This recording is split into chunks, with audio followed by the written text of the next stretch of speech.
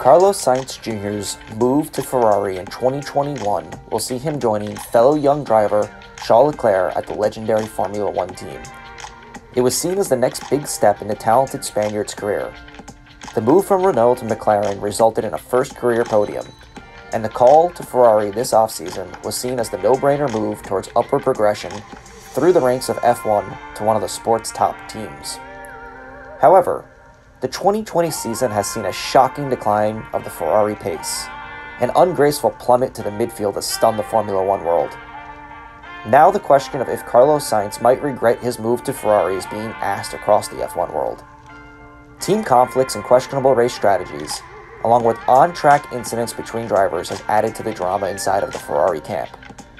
The ongoing saga of Sebastian Vettel's ugly divorce from Ferrari has highlighted the team's struggles and left everyone in that garage searching for answers. During the Belgium GP, even Carlos Sainz himself showed concern of what was unfolding. Through seven races, his current team of McLaren has led Ferrari in the constructor standings every week. Adding insult to injury, his former team of Renault is looking poised to pass Ferrari soon after closing the gap on the back of outstanding performances from Daniel Ricciardo and a much improved Esteban Ocon. Let's take a closer look at the numbers to see if Ferrari next year really may be career suicide for Carlos Sainz Jr. So let's take a look at the numbers of Carlos Sainz Jr. versus Ferrari this year. That's what I have on this side of the board, Vettel and Leclerc versus Carlos's performances. On this side, I decided to take a look at Ferrari, McLaren, and Renault race by race in the 2020 season to see, is this something that Carlos should be really, really panicking about going into the 2021 season? Or maybe the numbers aren't as bad as they, they might seem from the outside looking in. So let's start on this side of the board. We'll start in Austria. There are two back-to-back -back Grand Prix. Carlos Sainz gets a P5 and a P9. Vettel has a P10 in retirement, so Vettel has two really bad races to start the year. I think that, you know, that kind of amplified what's going on with Sebastian Vettel now. Charles Leclerc, though, after Ferrari's bad speed, still manages to finish P2. He podiums in his very first race. Ferrari may be looking at it saying, hey, it's not as bad as it looks. But, of course, he gets into Vettel in the second race in Austria, and both Ferraris retire. And Sebastian Vettel winds up outperforming the Ferrari three of the four, you know, comparisons here. So he outperforms Vettel twice and Leclerc once, but Leclerc podiums. In Hungary, he finishes P9. Vettel outperforms him, finishing P6, but he does outperform Leclerc. So once again, he beats one Ferrari, doesn't beat another. In Great Britain, he finishes P13 and gets outperformed by both Ferraris.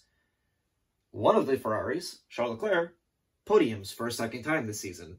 So through the first four races, I don't think you can say that McLaren has been significantly better. Well, Carlos Sainz has not been significantly better than the Ferraris. So it's still maybe an upward progression, a move to Ferrari at this point. By the time we get to the 70th anniversary, for a second straight week, he's outperformed by both Ferrari drivers. Vettel and Charles Leclerc both finish ahead of Carlos Sainz. Then we get to Spain, and Carlos Sainz always performs pretty well in Spain, in my opinion, and he does get a P6 here, beats Sebastian Vettel by one spot, and of course, Leclerc has a retirement in that event. Then we get to Belgium, and of course, Carlos Sainz never gets a chance to race in this race, gets a DNS, something goes wrong mechanically in that car before he even can even get to the lineup on the grid. No race for him, and Ferrari completely flops themselves. I think it's probably safe to say that had he been in this event, he probably would have beat the two Ferraris. This was the worst week I've seen Ferrari. I think this was even worse than the double retirement week. They looked super slow. Who knows where they would have ended up. You know, they, they had a lot more pace in Austria is my point. But when it's all said and done through these seven races, he beat both Ferrari drivers two times out of seven races, and he beat at least one Ferrari driver four times out of seven races. So he's kind of right in the mix with them at this point. But it is really noticeable that Ferrari still podium twice this year. All right, sorry for the edit in the middle of that. I had to change camera uh, angles because it fell. So let's move to this side of the board.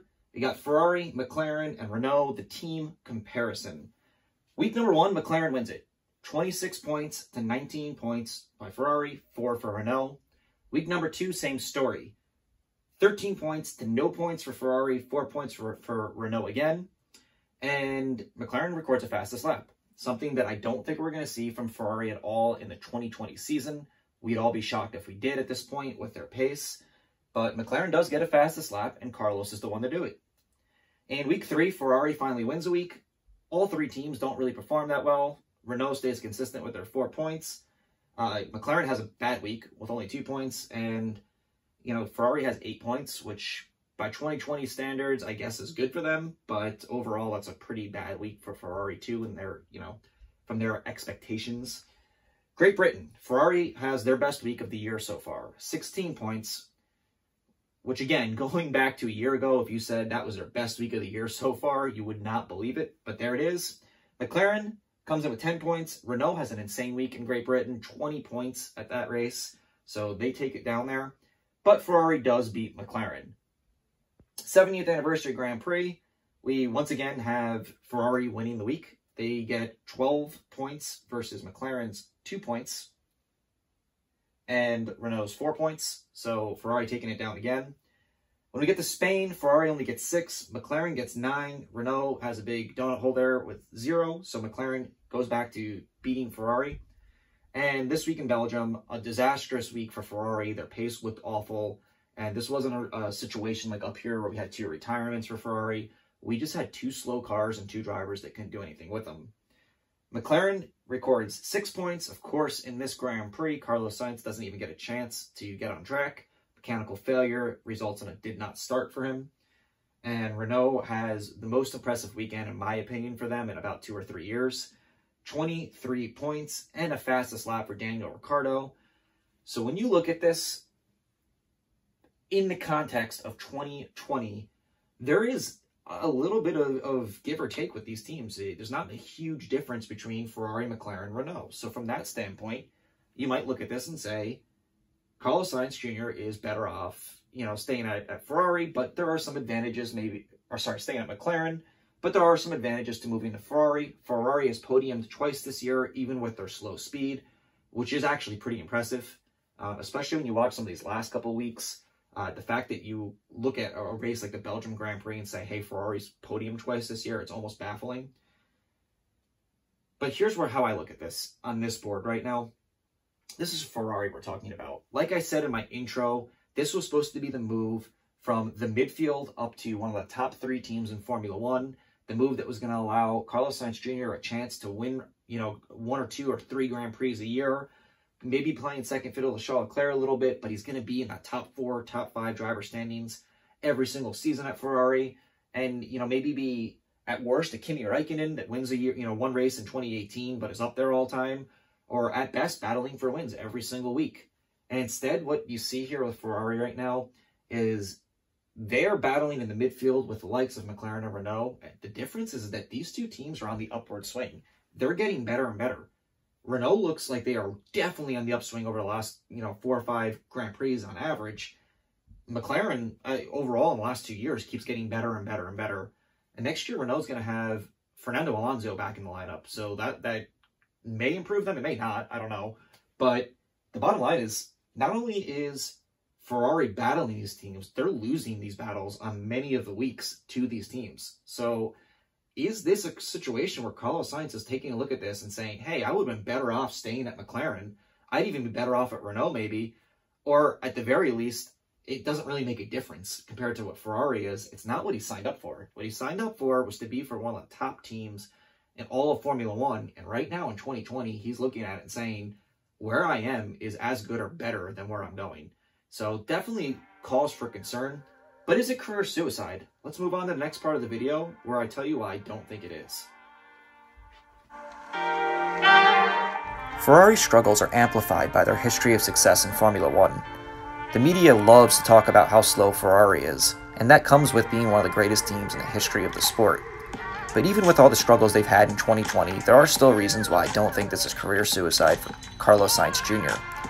For one, they've already managed a podium this year with having some of the worst cars we've ever seen Ferrari have. I think with two young drivers like Carlos Sainz Jr. and Charles Leclerc, the future of Ferrari can still be bright, especially once we move to the brand new cars in 2022. The real concern is just next season, where they're going to be running similar packages to what they're running in 2020. But after that, I think the sky is the limit for Ferrari once again. As always, if you like this video, please hit like and subscribe, and thank you so much for watching.